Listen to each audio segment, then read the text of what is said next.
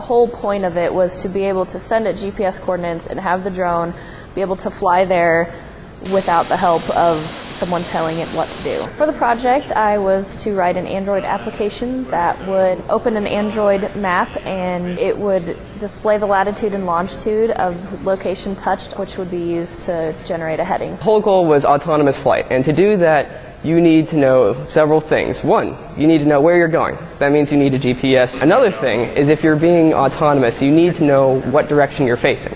And that's where the magnetic field sensor comes in. My job was basically to interface between that hardware that got data and the drone itself. I took the data that we received and basically sent it along into the drone. My role was the onboard software for the AR drone um, to try to integrate our extra sensors with kind of the onboard software already there. There's definitely a lot of challenges. It was a platform we had to learn from scratch, um, so I do a lot of research. I definitely like how they structured the senior design lab. You're kind of free to build stuff yourself. It allows you to apply everything you've kind of been working and developing, all of the skills, all of you know teamwork and research and um, coding and all sorts of things, and you have to put it all into one giant project. It's what the business world would be like for an engineer. You're given a problem, and it might not be very well defined at that time, but that's the whole part of the job is you have to do it yourself. You have to come up with the solution, and it's a great learning experience. Winning the Rummer Award was very validating. It helped me feel like the thing I've been working on for an entire year meant something. We accomplished something quite fantastic.